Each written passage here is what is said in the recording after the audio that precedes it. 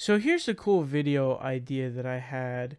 So I just turned 18 in September, so I will be voting in this midterm uh, election that's on November 6th, and I'm in California. So what I thought I'd do is give a rundown of how I'm going to vote and how I think you should vote, obviously, uh, for all the propositions within the state, uh, because obviously there's these are statewide ballot initiatives, and upon researching, I realized that to truly be educated on these uh, ballot initiatives, you really have to research a lot. And so I've done that research, and hopefully I'll be able to relay the information to you guys, obviously from my point of view, and let you guys know how you guys should vote. So, Proposition 1 it authorizes bonds to fund specified housing assistance programs. Vote yes. Proposition 2 authorizes bonds to fund existing house program for individuals with mental illness. Of course, vote yes. Proposition 3 authorizes bonds to fund projects for water supply and quality, watershed, fish, wildlife, water conveyance, and groundwater sustainability and storage. Vote yes. Proposition 4 authorizes bonds funding construction at hospitals providing children's health care. Vote yes. All right, so those ones are very easy. They're very simple. They're very straightforward, right? Uh, vote yes on one through four. Now, here is where we start to get to the tricky parts. So, Proposition 5. It's this is the rundown. It says changes requirements for certain property owners to transfer their property tax base to replacement property. So this is something that is uh, to read the summary. It says a yes vote would allow home buyers who are older than 55, severely disabled, or who have contaminated or disaster destroyed property to transfer their tax assessments from their old home to their new home, no matter the value of the new home, its location, or how many times the buyer has moved. Current law allows only eligible buyers to transfer a tax assessment if their new home is of equal or lesser value of their old home and only once per lifetime. So this is interesting, right? So here are the here are the major backers. The backers are the California Association of Realtors. They argue this could take away the fear of seniors who wish to downsize their homes by selling larger homes and buying smaller ones. This is and here's here's an important impact on taxpayers. It says this could cause local governments and schools to lose $150 million in annual property taxes and eventually up to $1 billion per year, which are estimates based on 2018 value of the dollar. Now, that's a crap ton of property taxes. And what do property taxes fund? Schools, public schools. Are public schools extremely, extremely, extremely, extremely important? Yes, yes, yes, yes, they are. But here's the thing. So basically what this this proposition will do is it will basically make it so that pe- the property taxes for these people who are older than 55 because they have these homes that they bought because they're old now, they were so cheap when they bought them. So when they sell that house and then buy a new one, their property tax will be up because their house will be worth a lot. They'll buy a house for a lot more and this will make it so that those people are essentially incentivized to buy more expensive and new and more importantly newer houses. But and this is framed as this idea of helping old people, but that's actually not really what this is doing. And this would be supported by some sort of a uh, you know, senior group or of some sort, some senior advocacy group. Um, and the people opposing it are the California Teachers Association. But here's the thing why would the California Association of Realtors support this and sponsor this? The reason why they're sponsoring this is because if this are, is to happen, what it will do is it will spur more commission money because, first of all, more homes will be purchased. But second of all, you're talking about uh, them being incentivized to buy more expensive homes. So, what we're talking about here is a fake and a facade of helping old people when really they don't have any issue paying the property tax because they're going to sell a house that's worth a crap ton of money now that they bought for super cheap because they bought it so long ago. So they're not going to have an issue with the property tax. And this is sort of this fake wrapped in that when really what it is is it's an attempt to the the sad situation about uh, housing in the United States is instead of it really being focused on as this sort of thing that is essential for life, we have a culture where it's like, oh, we got to invest in real estate. You know, there's a whole fucking, you know, uh, peep market of people whose job it is to purchase homes and then sell it for more. And it's just, it's convoluted this entire thing. So these people are trying to lie, the California Association of Realtors, because they're trying to make more money through commission sales because more homes will be bought and uh, that will result and they'll be very expensive homes by the way and so that will spur uh, commission costs so that's the reason why they are supporting that if you're wondering why they were supporting that so on that proposition on proposition 5 vote no because the schools will lose a crap ton of funding and this is a fake and a fraud um, okay, so that's five. Vote no on five. Vote, uh, sorry, Proposition six.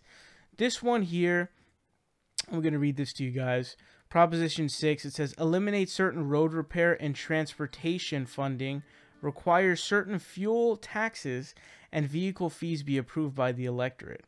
Uh, so here's a summary. It says a yes vote would repeal 2017 increases to fuel taxes and vehicle fees, including the Road Repair and Accountability Act. It would also require voter approval for California lawmakers to impose, increase, or extend fuel taxes or vehicle fees in the future. Uh, it says currently, raising fuel taxes and vehicle fees requires a two thirds vote of both the state assembly and Senate. Gasoline tax taxes increased by 0.12 per gallon in January 2018. So, uh, the major backers of this are the California Republican Party, and the opponents are pretty much all the Democratic, Jerry Brown, and just a bunch of different people.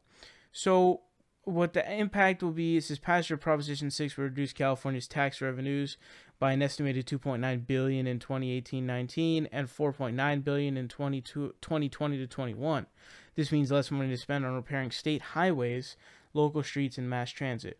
Vote no on Proposition 6. Vote no because what it's doing is basically the gas tax and the and the vehicle fee, the uh, I believe it's like the licensing fee. What they're using that money for is whenever you see work on transportation and on roads and different things like that, like road repairs and their Caltransit and different different transportation services. Those are being funded by the gas taxes.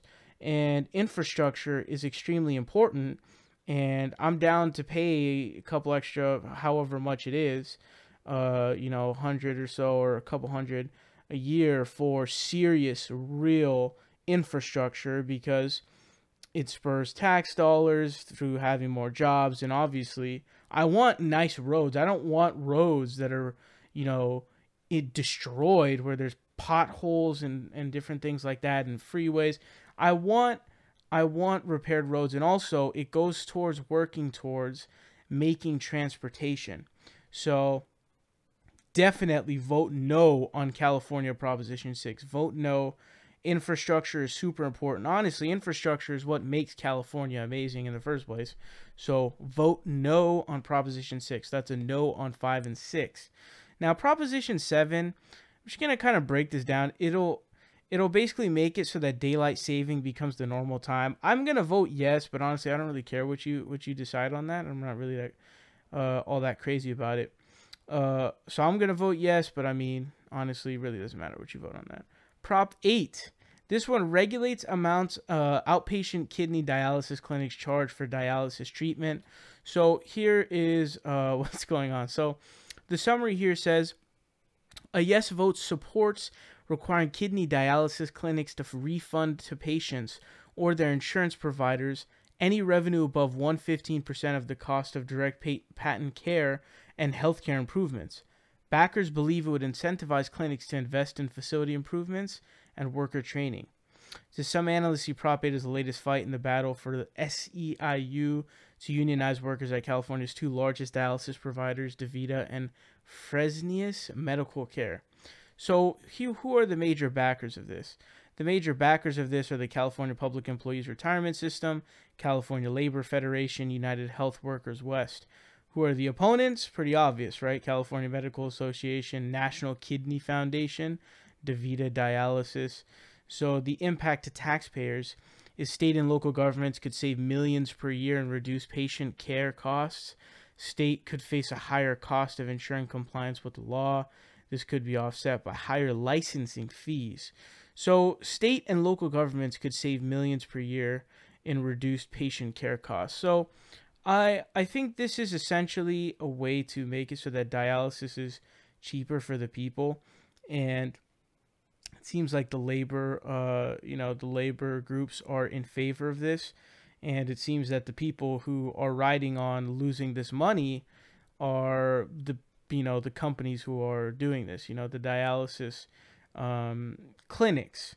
So I I definitely I 100% uh, approve of this. I think we should pass Proposition 8. Uh, I think it will also uh, embetter the facilities as well. And so I say vote yes on Proposition 8. Now, Proposition 9 doesn't exist because it was removed from the Supreme Court of California. This would have been the one that divided California into three separate states. Insanity. I know. I know. Trust me. So, this one is super, super confusing. Uh, this is why I mentioned in the beginning that it's pretty much impossible to really understand all of the propositions without deep research. And so, what ends up dictating whether or not a proposition actually gets passed is usually the advertisements. Uh, so, this one is Proposition 11. It says, requires private sector emergency ambulance employees to remain on call during work breaks limits, uh, eliminates certain employer liability initiative statutes. So, summary says a yes vote allows ambulance service providers to require their employees to remain on call while taking breaks. Employees will be paid at their regular pay rate during their breaks. Uh, backers say it could potentially reduce ambulance response times to life threatening emergencies by allowing crews to be routed to a nearby call even if they are on break. Uh, so, this is super misleading. I did a lot of research into this. And apparently, this is already like this already is what happens. It is the case that basically, even if they're on break, whichever is the nearest uh, unit that is emergency, they have to actually respond. It's just that when they do that, they they're required to be paid for uh, I think an hour of their base pay rate by that by AMR's who pays them. So it's misleading because it's like that's already that's already what's going on.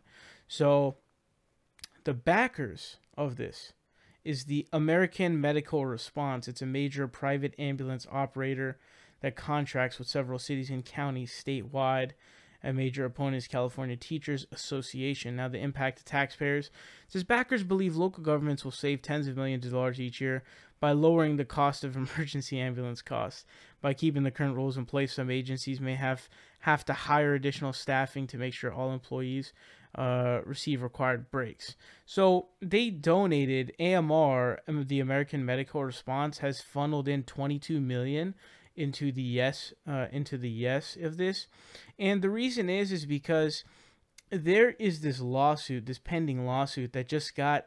I my understanding of the situation is like a district court ruled that they can do a class action lawsuit. I think it was four people, and this lawsuit would be like cost them like a hundred million dollars or something like that.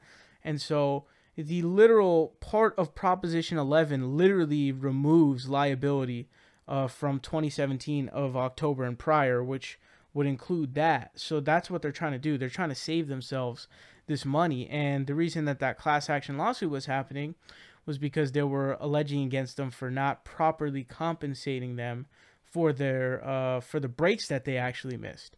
So definitely, definitely vote no on this because what's happening is they are the American Medical Response is trying to fuck over the actual workers um, by not providing them for their for their actual compensation.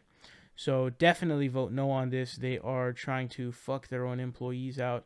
But unfortunately, due to the shoddy wording, I think that it looks like it's going to end up getting voted in, which is unfortunate. It's unfortunate. Um, it's really, really tough. So uh, the the proposition 12 you can feel free to vote how you want to this one says establish establishes new standards for confinement of specific farm animals ban sale of non-complying products um, this one you can sort of vote sort of vote however you want it says uh, a yes vote would ban sale of meat and eggs produced from animals that are kept in areas below a specified number of square feet um, i'm sure you guys are going to have your own opinion on that to be honest i'm not 100% decided but the rest of them just to do a little bit of a quick rundown. One through four, vote yes. Uh, five, five through seven, or sorry, five through six is a no. Seven is a yes. For me, eight is also a yes. Uh, ten is yes. I forgot to go over ten actually. Ten, yes, and then eleven, no, and then twelve, however you want. So that is my breakdown of the California propositions.